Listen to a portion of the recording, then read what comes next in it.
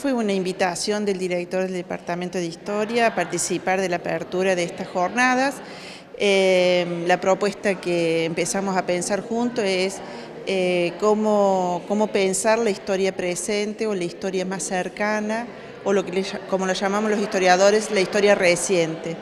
Eh, y cómo afecta eso, cómo nos involucramos con ese pasado más cercano a partir de, una hipótesis o de una idea generalizada ya de que esa historia cercana nos atraviesa como sociedad, lo que pasó en los 70 con la dictadura militar, con la violencia política, con el terrorismo de Estado, y cómo eso todavía hoy nos involucra eh, en tanto actores, en tanto em, sociedad que vive los efectos residuales de lo que sucedió en aquellos años. Entonces, la propuesta es debates entre tiempos, es decir, esa relación entre el pasado y el presente y el presente y el pasado.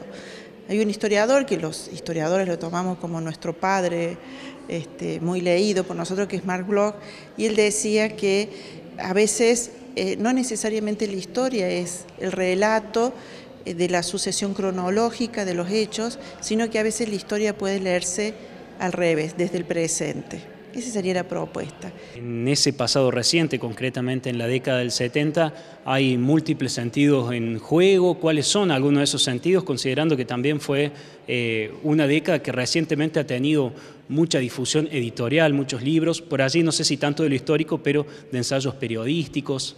Exactamente, digamos, sobre los 70, sobre ese periodo, está trabajando la historia, la memoria y la política, y es un campo de disputa.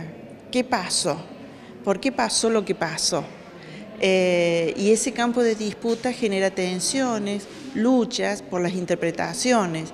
Digo, eh, es, frecuente todavía escuchar eh, expresiones como la época de la guerra sucia, cuando es un concepto que desde los organismos de derechos humanos se lo ha impugnado y desde la historia se ha cuestionado, pero desde otros actores siguen reivindicando que lo que sucedió fue una guerra sucia. Digo, como para poner solo un ejemplo de cómo todavía la forma en que nominamos, la forma en que clasificamos, la forma en que calificamos lo que sucedió es motivo de disputa todavía.